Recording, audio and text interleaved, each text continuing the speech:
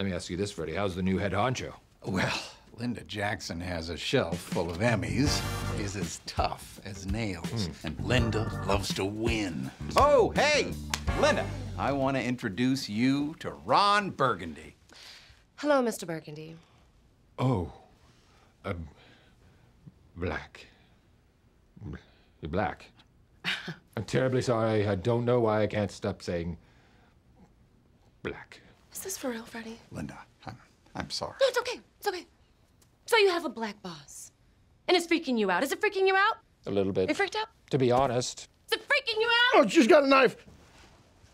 I think you scared him. You can't shout at Brick.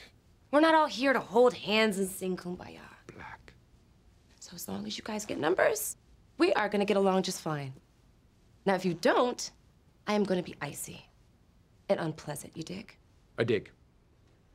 We all dig. Anchorman 2 in cinemas Burgundy Wednesday, December 18th.